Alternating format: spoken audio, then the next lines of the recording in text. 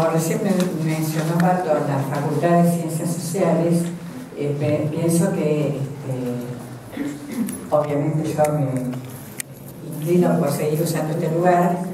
Después voy a hacer una referencia a, otras cuestiones que nos vinculan con este lugar.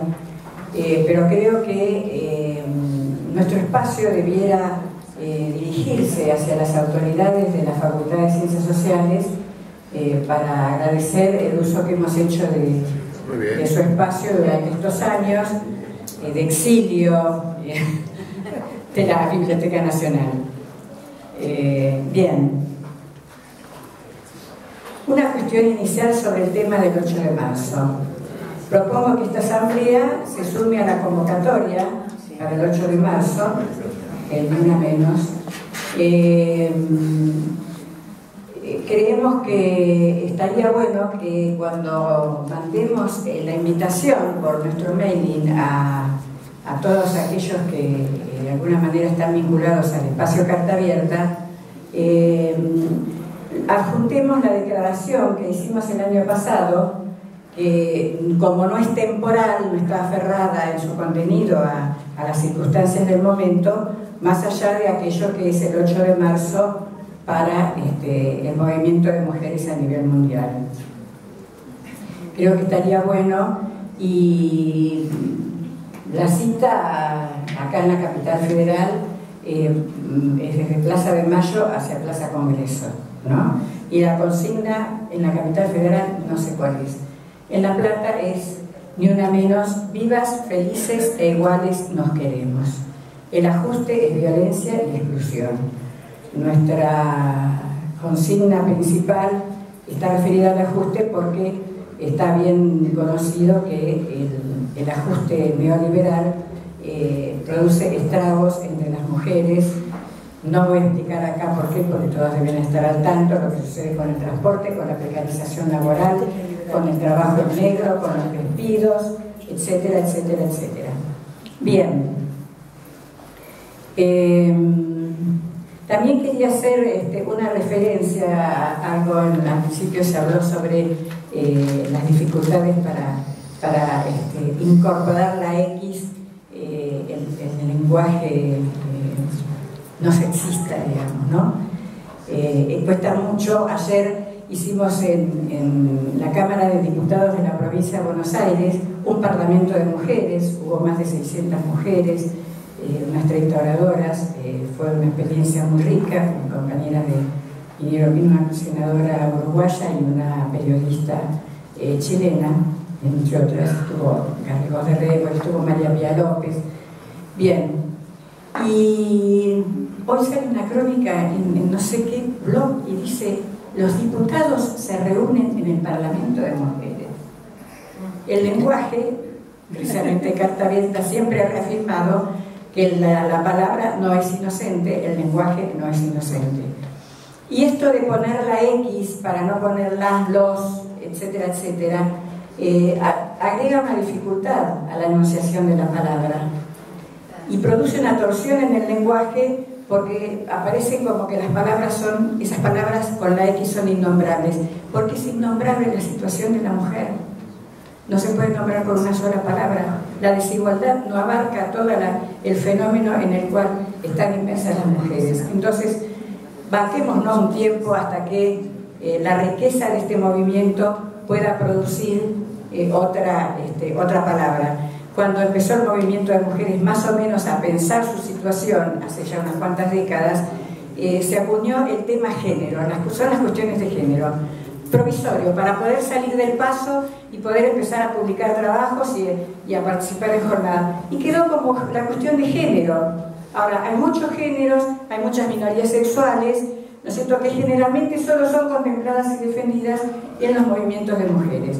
Así que, bueno, banquémonos la X por un tiempo hasta que nuestra propia sabiduría encuentre este, la designación adecuada. Eh, estoy eh, profundamente de acuerdo, y ya lo planteé en la reunión anterior, la necesidad de eh, hacer una nueva carta.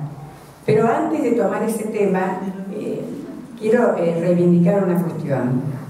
porque acá hubo varios compañeros que me precedieron que se refirieron al discurso de Macri. Yo no voy a profundizar el discurso de Macri. Lo que sí voy a tomar es aquello que se refiere al aborto. No vamos a permitir que el aborto lo usen como cortina de humo.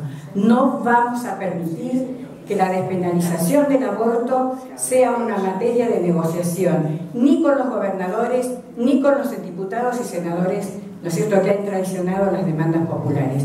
No vamos a permitir que este gobierno quiera erigirse como el defensor del debate sobre la ley del aborto. La ley de la despenalización del aborto se presentó durante siete veces en la Cámara de Diputados, nunca en la Cámara de Senadores, a sabiendo la media este, ideológica de sus componentes, ¿no es cierto? ¿Y por qué?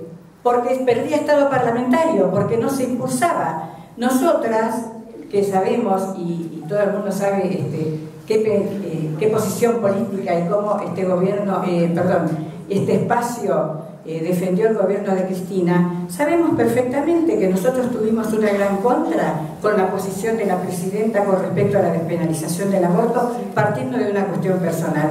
Esto no es una cuestión personal. Lo personal es político. Eso está dicho hace décadas y sigue teniendo absolutamente vigencia. No vamos a permitir que el macrismo se arrogue la autoría del debate sobre la despenalización del aborto.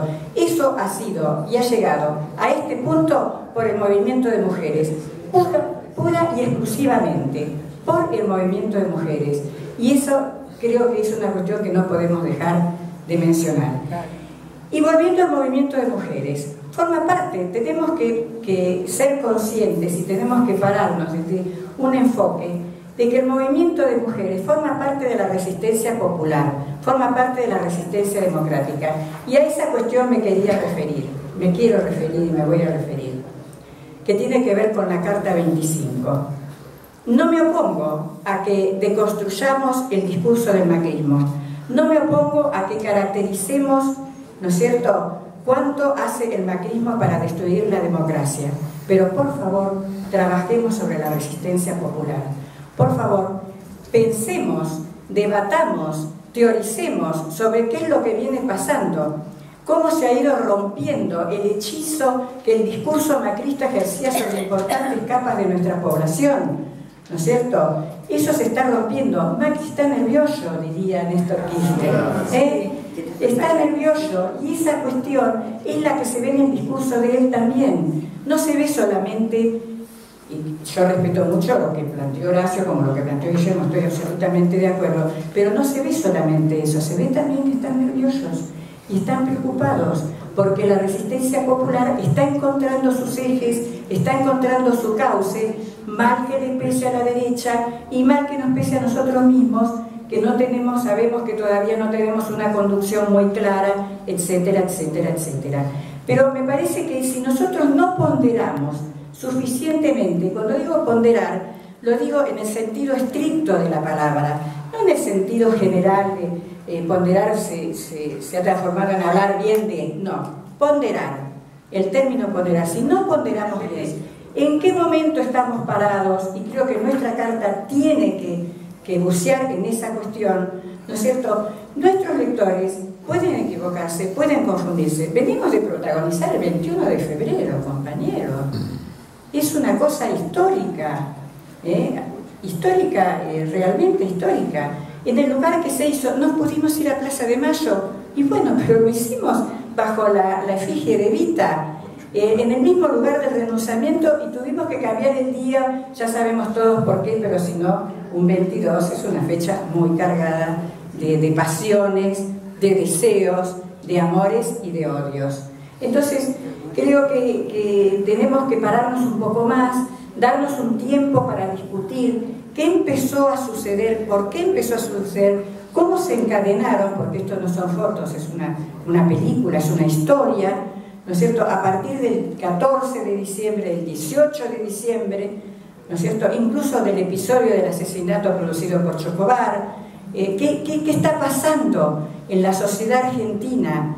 ¿Eh? que, permitió que el 21 de febrero fuera lo que fue y que va a permitir que el 8 de marzo sea lo que va a ser, que yo creo que va a ser un momento también de escalamiento de la resistencia popular muy importante. El neoliberalismo no puede ser feminista, eso es un disparate atómico, solamente a esta gente se le puede ocurrir este, tratar de juntar neoliberalismo con feminismo, neoliberalismo con derechos de las mujeres, porque las mujeres lo que estamos luchando básicamente e inicialmente es por la igualdad, porque la igualdad nos va a permitir incluso acceder a otros derechos y a otras cuestiones eh, que están pendientes, no solamente como mujeres, sino como eh, miembros miembros sustanciales de la humanidad. Así que eh, no permitamos que el macrismo se apropie del aborto, porque además lo va a desnaturalizar y lo va a destruir. En eso comparto esencialmente lo que dijo Guillermo. Lo va a destruir. Van a aparecer con la cuestión, y los padres también tienen que opinar, hay que, que reglamentar, porque los padres también son padres de la criatura, eh, etcétera, etcétera. Y son cuestiones sobre las cuales hay que estar preparadas para dar el debate y para dar la pelea. Y quiero vincularlo con lo que decía Horacio con el tema de la vida. Eh, se estigmatiza al movimiento de mujeres la campaña nacional por el aborto o por la interrupción voluntaria del embarazo en Argentina. Está encabezada por varias compañeras y una de ellas es Marta, la dirigente de Católicas por el Derecho a Decidir. ¿Mm? Así que, muchachos, pensemos también en la amplitud de estas alianzas. ¿eh? La campaña tiene 11 años de existencia y alberga en su seno desde Católicas por el Derecho a Decidir hasta las rojas, que son, bueno, como lo está firmando no voy a decir, este, pero son difíciles de manejar.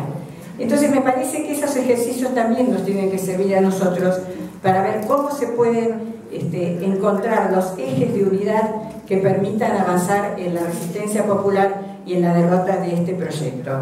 Y el tema de la despenalización del aborto, volviendo al discurso de Macri, es muy interesante en relación a la vida, ¿no? Porque ellos ahí dicen, pero vamos a matar a un niño, este, es un asesinato. Y, y, a renglón seguido lo elogiamos a Chocobar, que mató a un joven eh, por la espalda aparte de los otros casos que ha habido a posteriori. Entonces también esa dualidad, eh, esa esquizofrenia, más que dualidad, esa esquizofrenia del lenguaje macrista, del lenguaje y de las políticas macristas, nosotros también lo tenemos que este, deconstruir y creo que en la carta eh, podemos eh, trabajar bien ese tema. Pero insisto, nuestra carta tiene que contener lo que, lo que es referente a la caracterización de construcción y en todo caso si queremos estigmatización del macrismo, pero también tiene que albergar, ¿no es cierto?, un pensamiento sólido sobre la resistencia, el derrotero de la resistencia, la perspectiva de la resistencia. Porque si no hay resistencia en la calle, si no hay movilización popular, el frente va a ser, como dice Aurelio, lo que otros quieran. Ahora, si la calle es nuestra, si la demanda popular se vehiculiza en la calle, el frente será de otra naturaleza. Y creo que en eso también tenemos que apostar fuertemente. Muchas gracias.